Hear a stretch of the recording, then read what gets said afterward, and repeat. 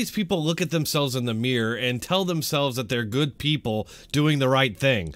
We're in the middle of a global pandemic here, and all they seem interested in is doing damage to Trump. Much like past media blunders, they were all too excited to inflict pain onto Trump that none of them were interested in getting the actual facts. Besides getting the facts wrong, it's pretty absurd, and you gotta do some serious mental gymnastics to blame Trump for some random guy drinking poison. An Arizona man has died after he took chloroquine phosphate because he believed that it would protect him from the coronavirus. Did you see the president's press conference? Where did you hear about? Yeah, yeah, we saw the we saw his press conference.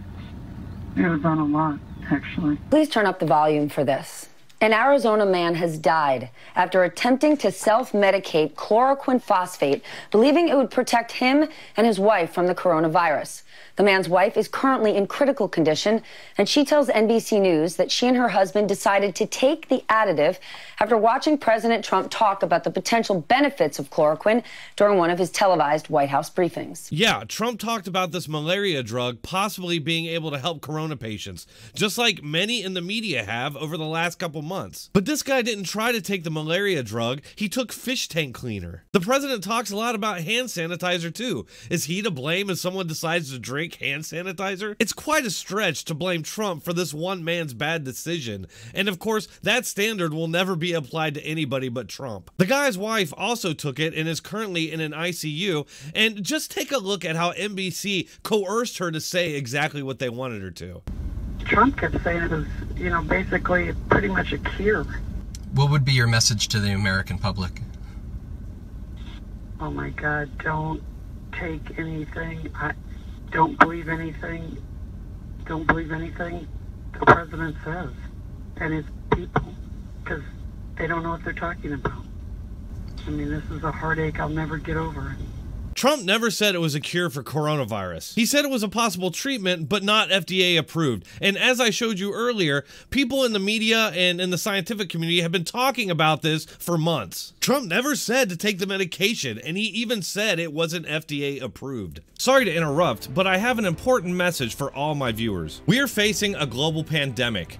Numerous cities around the world are now under a state of emergency. Prepper's Peak is offering a virus safety bundle that comes equipped with a mask, coveralls, gloves, and goggles for an affordable price. If you're serious about taking the same precautionary measures as our servicemen and women, and you're serious about prepping for the worst, then you must consider investing in this potentially life-saving equipment. With an affordable price for everyone, Prepper's Peak introduces the ultimate safety suit, which includes a medical-grade P100 particulate respirator, bound-seamed coveralls, chemical splash safety goggles, and flock-lined green nitrile gloves which heavily reduces the risk from dangerous viruses. Prepare now, and at the very least, you'll have the peace of mind of knowing you're ready. Just go to survivewithdronetek.com. That's survivewithdronetek.com. MSNBC and NBC weren't alone in spreading this misinformation. Over at Twitter, the fake news has spread like a certain virus, with The Hill reporting, well, actually, it looks like they've since taken it down. They were getting ratioed hard, so I'm not surprised. Well, here's a screenshot of Tammy Bruce laying into them. Axios also spread this misinformation in a tweet saying, A man has died after ingesting chloroquine phosphate, one of the anti-malaria drugs Trump has mentioned in recent days. Oh, he mentioned it, did he? That's some pretty scummy mental gymnastics you're doing there. And no, he never mentioned anything about taking fish tank cleaner. Great reporting there.